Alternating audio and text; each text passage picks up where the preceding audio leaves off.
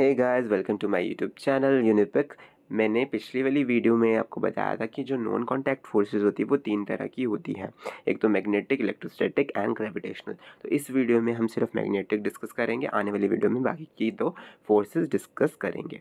तो जो non contact force की जो पहले टाइप है मैग्नेटिक फोर्स उसकी डेफिनेशन क्या है? Magnetic force is the force exerted by magnet अब मैग्नेट है, जो भी फोर्स एग्जर्ट होगी, लगेगी मैग्नेट द्वारा तो उसको बोलेंगे मैग्नेटिक फोर्स जैसे कि force of attraction and repulsion between two magnet जो भी फोर्स लगती है अट्रैक्शन के कारण. मीन्स अब अट्रैक्शन और रिपल्शन भी पता होना चाहिए.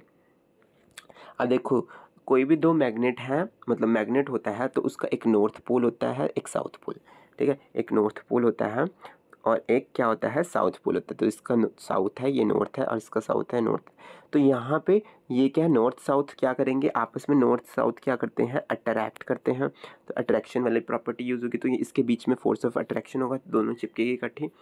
और साउथ नॉर्थ भी हो सकता है, यहाँ पे भी फोर्स ऑफ़ अट्रैक्शन होगी, इसमें भी चिपकेगी, तभी इन्होंने एरो इस तरफ़ लगाया। तो ऐसे भी तो किसी हो सकते हैं कि नॉर्थ नॉर्थ मैग्नेट्स के इकट्ठे होंगे तो वो रिपेल करेगी। वो तो इसलिए इन्होंने दूर डायरेक्शंस लगाई हैं यहाँ पे। यहाँ पे क्या लगाई है? दूर की डायरेक्शंस लगाई हैं। तो साउथ साउथ भी रिपेल ही करेंगे तो वो भी दूर दूर की डायरेक्शन होगी। तो फोर्स ऑफ़ अट्रैक्शन और रिपल्शन बिटवीन टू मैग्नेट तो ये एग्ज़ाम्पल है किसका? मैग्नेटिक फोर्सेस का।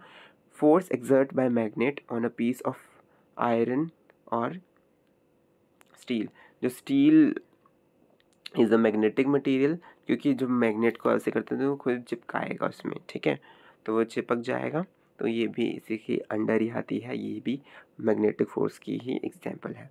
तो अगर आपको मेरी वीडियो पसंद आई तो लाइक कीजिए और मेरे चैनल को सब्सक्राइब कीजिए और बेल आइकन को भी हिट कर दीजिएगा ताकि आने वाली वीडियो का नोटिफिकेशन आपको बिल्कुल टाइम पर मिल जाए। Thank you for watching it